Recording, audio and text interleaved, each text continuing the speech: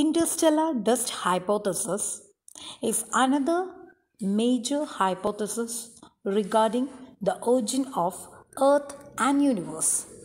And in this session, we are going to discuss the hypothesis proposed by Otto Schmidt. The interstellar dust hypothesis was propounded by the Russian scientist Otto Schmidt in the year 1943. In this hypothesis, the Earth and the solar system is considered to be formed from gas and dust particles. The scientific research have proved that there are enough evidences for the presence of dark matter in the form of gas and dust particles in the universe.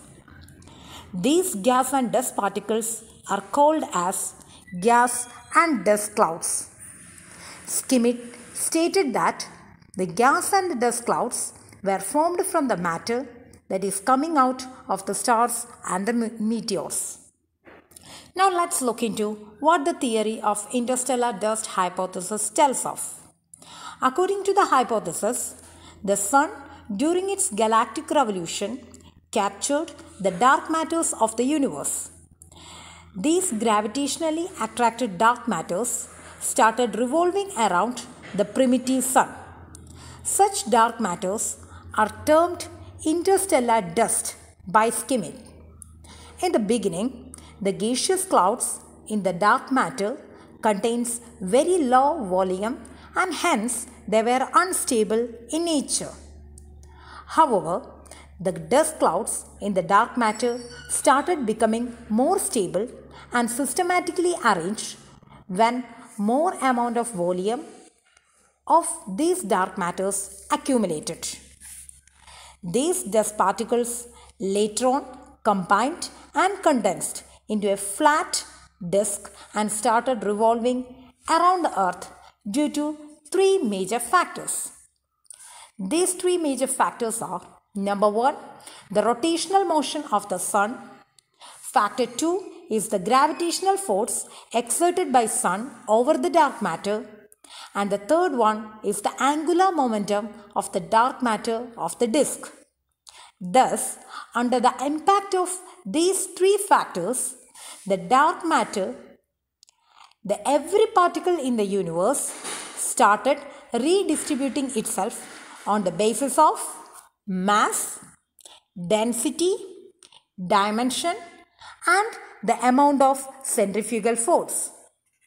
The particles having larger centrifugal force were thrown outwards the margin of the rotating disk, whereas the particles with smaller centrifugal force were attracted towards or nearer to the sun.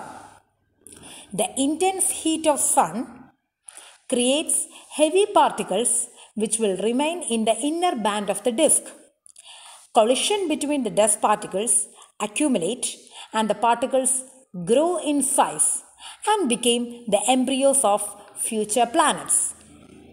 With the passage of time, these embryos captured more particles to become the asteroids.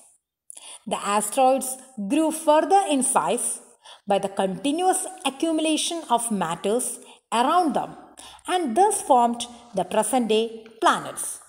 Some of the matter still remained in the disk were later on condensed to become the satellites.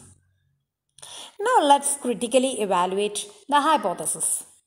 The Schmidt hypothesis were able to explain many loopholes what the earlier hypothesis of other major scientists propounded during the time. But still, there are two major criticisms he has faced with regarding to his hypothesis.